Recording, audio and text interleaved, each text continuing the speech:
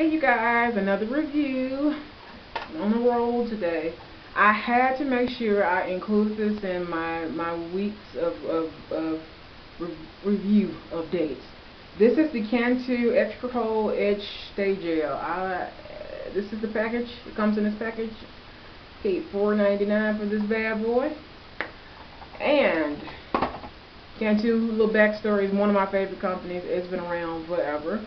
As you can see, this is what it looks like. It comes in a jar like this. It, it has the same print as the uh, other products, especially the natural hair product line from Cantu. Looks like this.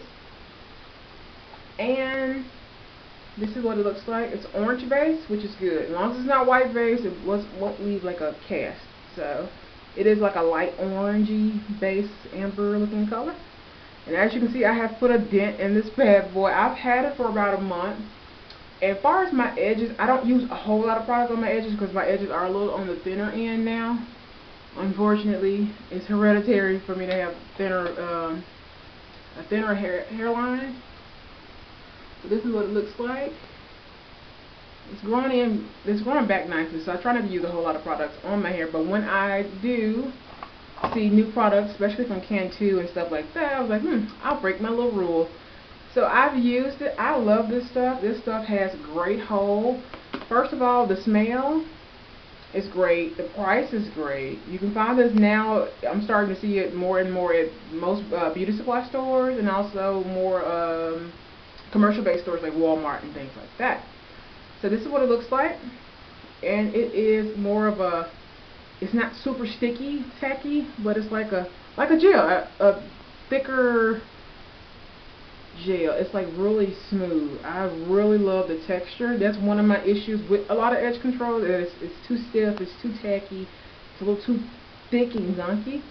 But this right here is like a nice gel, smooth gel. It's a little a little firm, but nothing super tacky. Let's see if I can get my little edges to act right. Let me get my little brush. Do a little demo. Let's see. I'm not wearing any edge control right now. I'm just going to put it across the front. Use my fingers before I use the brush. Normally I just use my fingers. Shout out to my forehead. It's all up in there. Uh, and my hair is just like laying right down. I have really coarse, thick hair. So my hair does not lay down easy. So I'm just using my fingers. I put a little too much in the same spot, which do not use a whole lot, especially like in the same spot like I just did. But I'm just this is just for a demo.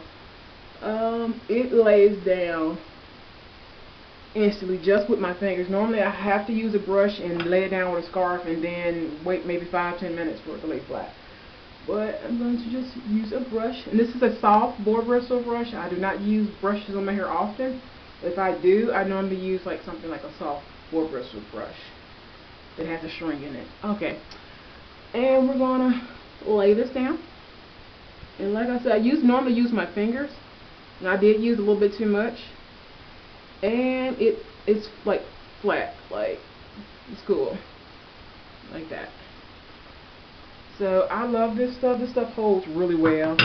And as you can see, I'm slicking my hair in a puff. I'm going to do a bun, so I may film it, maybe. I may use this stuff. But I highly recommend, if you're looking for a good edge control, something that's super, not super expensive, not super oily, not super uh, gunky and thick, tacky feeling, like stickiness and stuff like that. I highly recommend this one. This is like the bomb.com. I love this. I will definitely repurchase this. It normally takes me a while to use up a tub of edge control. And um, this is 2.25 ounces. So it you only need like a little bit. As you can see, I put too much. And this is what happens when you put too much.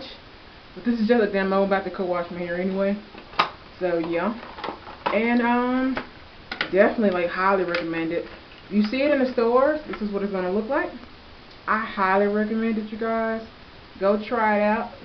It's not like it's there's no mineral oil, sulfates, paraben, silicone, phosphate, gluten, paraffin, propylene, whatever, and no DEA. You know, like you know, it's, it's all good and it's just like really nice and you should really go buy it and just try it. Like I really like it. I like all of their products minus the custard. So, you know, go out, try it. This you you guys next time. Yeah.